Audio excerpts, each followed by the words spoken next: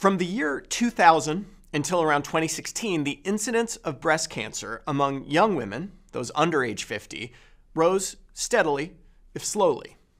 And then this happened. I look at a lot of graphs in my line of work, and it's not too often that one actually makes me say, What the hell? out loud, but this one did. Why are young women all of a sudden more likely to get breast cancer?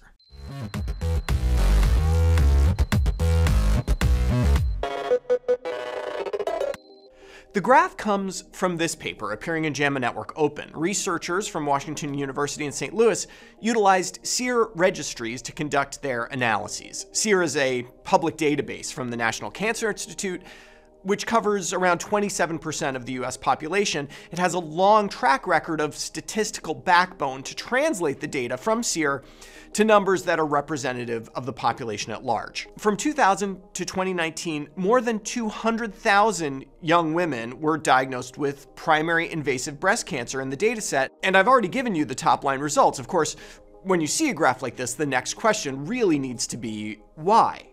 Fortunately, the SEER dataset contains a lot more information than simply whether someone was diagnosed with cancer. In the case of breast cancer, there's information about the patient's demographics, the hormone status of the cancer, the stage, and so on.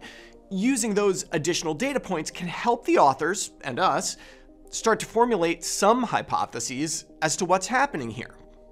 But let's start with something a bit tricky about this kind of data. We see an uptick in new breast cancer diagnoses among young women in recent years. We need to tease that uptick apart a bit. It could be that it is the year that is the key factor here. In other words, it is simply that more women are getting breast cancer since 2016, and so more young women are getting breast cancer since 2016. These are known as period effects. Or is there something unique to young women, something about their environmental exposures that put them at higher risk than they would have been had they been born in some other time? These are known as cohort effects. The researchers teased these two effects apart, as you can see here, and, and conclude well, it's both. The rising incidence of breast cancer in young women is due both to the general increased incidence over time and the unique risk of being born in the late 70s to early 80s stage of cancer at diagnosis can give us some more insight into what's happening. These results are pretty interesting. These higher cancer rates are due primarily to stage 1 and stage 4 cancers, not stage 2 and stage 3 cancers. The rising incidence of stage 1 cancers could reflect better detection, though many of the women in this cohort would not have been old enough to qualify for screening mammograms. That said, increased awareness about genetic risk and family history might be leading younger women to get screened, picking up more early cancers. Additionally, much of the increased incidence was with estrogen receptor positive tumors, which might reflect the fact that women in this cohort are tending to have fewer children and children later in life.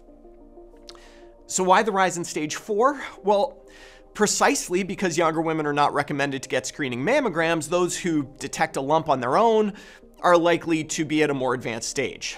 But I'm not sure why that would be changing recently. The authors argue that an increase in overweight and obesity in the country might be to blame here. Prior studies have shown that higher BMI is associated with higher stage at breast cancer diagnosis. Of course, we can speculate as to multiple other causes as well environmental toxins, pollution, hormone exposures, and so on. Figuring this out will be the work of multiple other studies. In the meantime, though, we should remember that the landscape of cancer is continuously changing, and that means we need to adapt to it.